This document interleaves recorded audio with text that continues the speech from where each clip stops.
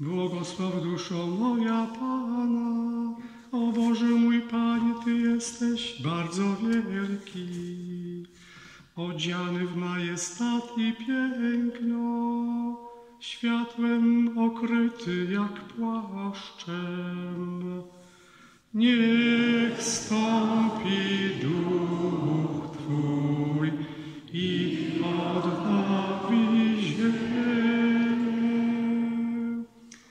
Umocniłeś ziemię w jej podstawach, nie zachwieje się na wieki wieków. Jak szatą okryłeś ją wielką głębią, ponad górami stanęły wody.